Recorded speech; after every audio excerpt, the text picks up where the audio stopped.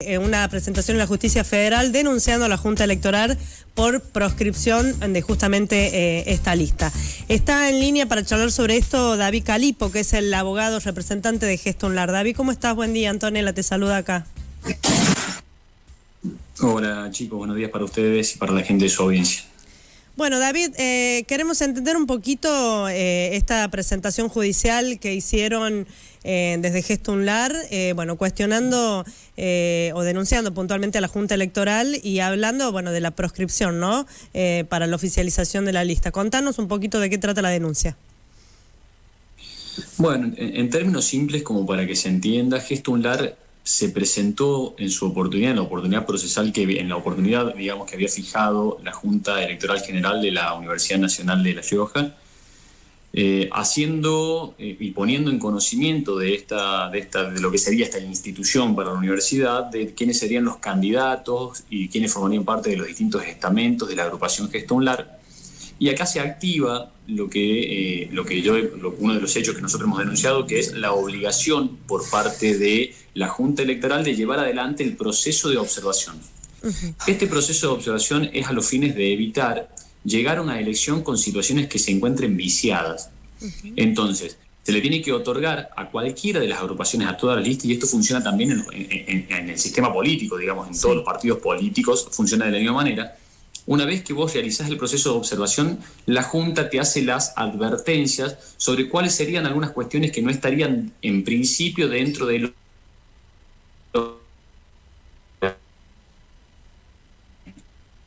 A ver, ahí Cuando le hace la observación, la Junta les envía un mail con un Excel diciendo, mira, estas...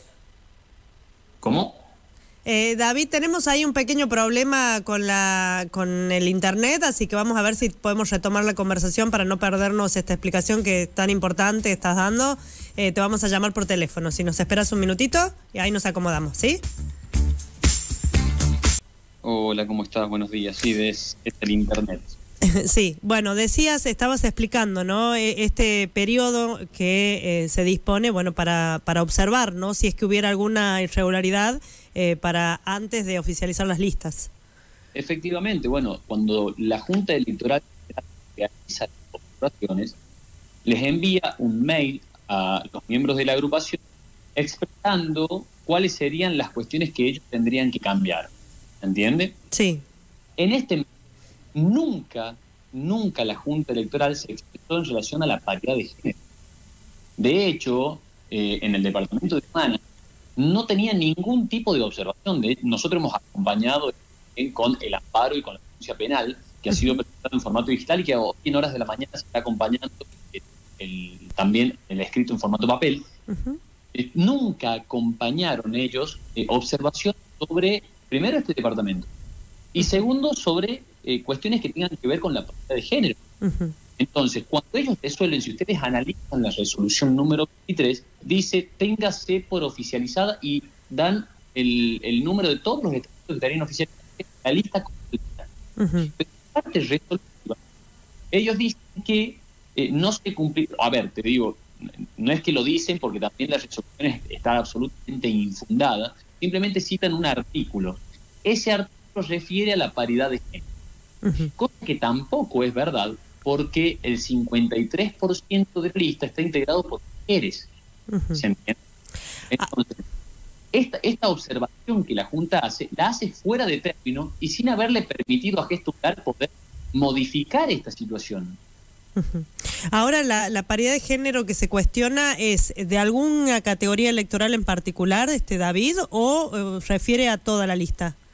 No, no, refiere a, cuestiones puntuales sobre eh, algunos de los estamentos, pero esos estamentos que ellos mencionan, acá hay que tener en cuenta dos situaciones.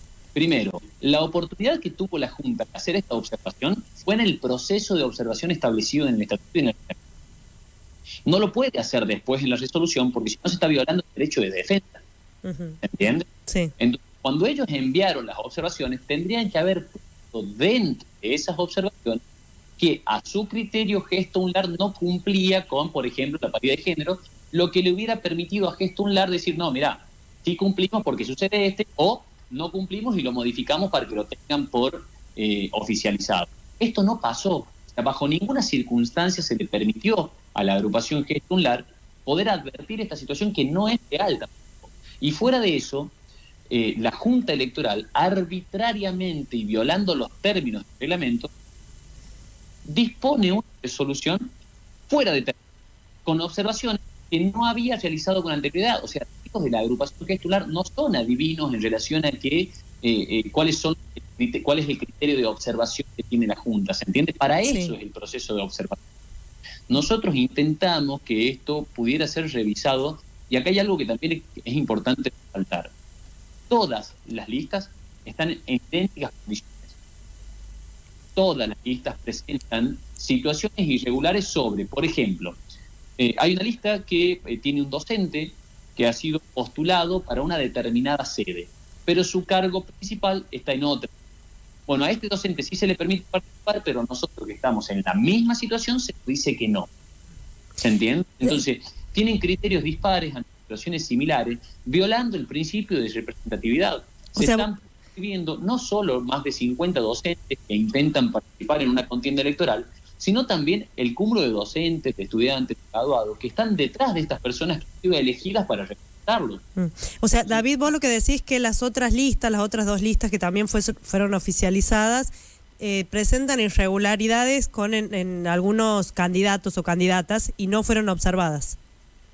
Sí, no, lo digo yo, eso está a disposición, es un instrumento público que está a disposición y lo pueden analizar eh, todos los interesados que son eh, los administrados por la universidad y los profesores participar en esta contienda, todas las listas están presentadas en las mismas circunstancias que se ha presentado con la mm. Solamente que la Junta, a ver, eh, esto es feo decirlo porque la realidad aquí es muy triste, pero miembros de la Junta han demostrado dos situaciones puntuales, o ignorancia en la actuación procedimental o un claro interés que está por fuera de lo debidamente apropiado para eso o procedimiento como este. Te explico por qué.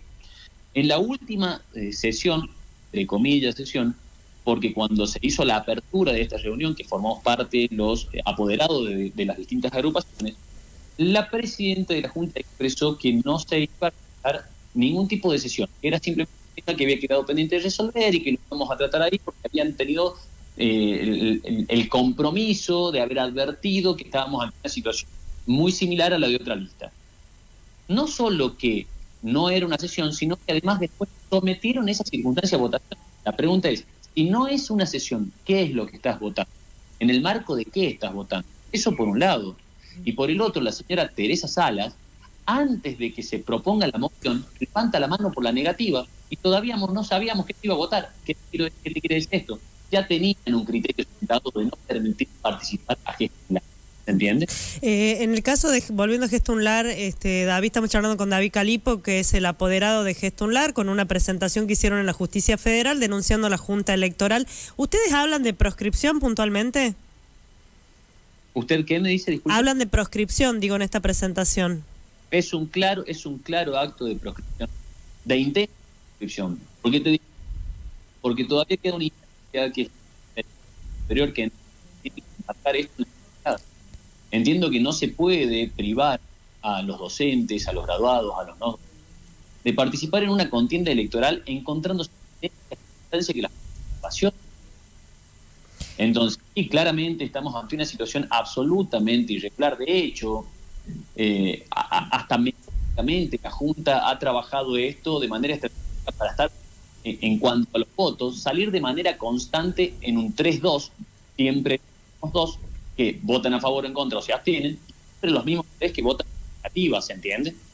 Entonces todo esto ha sido vergeniado, armado y que atenta en contra de los intereses de gestar y no solamente en contra de la agrupación gestular, atenta en contra del estudiantado y de las personas que tienen el derecho de elegir, de ser elegidos. Eh, David, ustedes, eh, eh, dos cosas te pregunto puntuales para, para terminar. primero, no se habla de todas las categorías, es decir, no están inhabilitados todas las, categorías electorales que presentó Gestunlar, eso por un lado.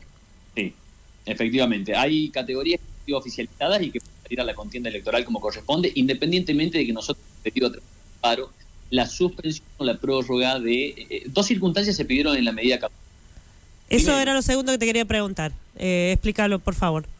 Nosotros entendemos que ante esta circunstancia de dispositivo cautelar la Junta, ya sea el Consejo o la Junta, eh, perdón, el Consejo o la Justicia, de manera preventiva tiene que permitirle la participación a gestos hasta que esto se pueda dirimir en términos legales. Eso ha quedado solicitado también en la medida cautelar y ha quedado solicitado también en la penal y donde también la remoción. Eso por un lado. Y por el otro, en el caso de no considerarlo así, que, entiendo que un acto de pero en caso de no considerarlo así, hemos solicitado la prórroga, que se prorrogue el inicio de la contienda electoral para que se puedan sanear estas circunstancias que y que están fuera del estatuto y fuera de los reglamentos. O sea, no se puede privar a una lista que está en idénticas condiciones que los demás a participar en la contienda electoral. De hecho, ¿cómo será que cuando se presentaron las listas hay quienes ni siquiera cumplen los requisitos para presentarse como rector de la universidad? Y aún así, entendiendo la agrupación que eh, eh, tiene que regir un criterio de participación, tiene que regir un criterio de representatividad, no se formularon las oposiciones correspondientes de explícito que toda persona que tenga un interés legítimo en participar en una contienda lo tiene que hacer. Hay que competir democráticamente porque, a ver, se trabajó muchos años para llegar a tener una institución como la que hoy tiene la Universidad Nacional de Rioja. Entonces, tener un acto de producción como esto representa retroceder hacia un pasado que costó mucho salir. Bien. David Calipo, apoderado de la lista Geston LAR, eh, bueno, gracias por estos minutitos con nosotros siempre a disposición y bueno, nosotros vamos a seguir trabajando, eh, buscando por supuesto que, se pueda participar de manera democrática en una agenda electoral que, eh, que le corresponde a los chicos por haber cumplimentado con todos y cada uno de los requisitos. Así que a disposición. Gracias.